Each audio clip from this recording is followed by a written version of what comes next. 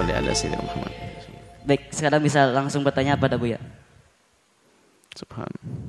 Saya ingin bertanya masalah mas kawin. Heeh. Kan waktu nikah mas kawinnya seperangkat alat sholat. Baru katanya orang-orang kalau sudah mas kawin tidak boleh dipakai dengan suami. Sedangkan kadang kayak sejadah gitu suami kadang pakai terus saya kadang negur. Baik, baik. Itu nggak boleh katanya dipakai. Suami. Itu sudah punya saya gitu.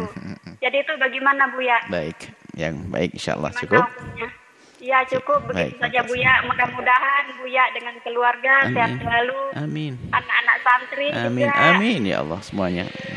Mudah-mudahan anak-anak santri pulang dari nyantri nanti ilmunya bisa berkembang, bisa Amin. berhasil. Amin. Amin. Amin. Harapan kami Bu ya, semoga. Al-Majah bisa hadir Amin. di Sulawesi Tengah. Amin. Insyaallah. Subhanallah ya. Harapan Iya.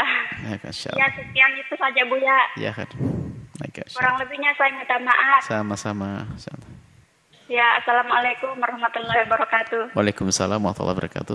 Mahar yang diberikan suami memang milik Anda. Cuman bukan berarti suami nggak boleh pakai. Kok pelit amat?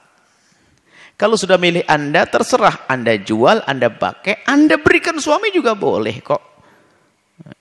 Tidak ada larangan semacam itu, tidak ada dari mana. Itu kira-kira saja itu. Itu biasanya obrolan di dapur, tiba-tiba, oh nggak boleh kan sudah dikasihkan untuk kamu. Memang selama ini kalau sudah dikasihkan nggak boleh dipakai oleh yang ngasih.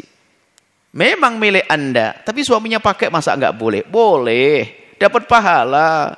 Bahkan kalau ada orang dapat mahar lalu sayang abang, ini mahar sudah saya terima. Cuman kelihatannya abang nggak punya uang, saya kasihkan abang. Boleh kok. Seperti itu boleh. Mahar itu milik anda.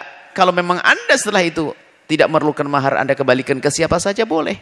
Sajadah dipakai bersama juga boleh. Jadi kalau ada yang mengatakan tidak boleh, ya itu tidak benar. Boleh. Kok pelit amat? Masa ngajari pelit? boleh anda pakai bersama sajadah. Wallahu a'lam.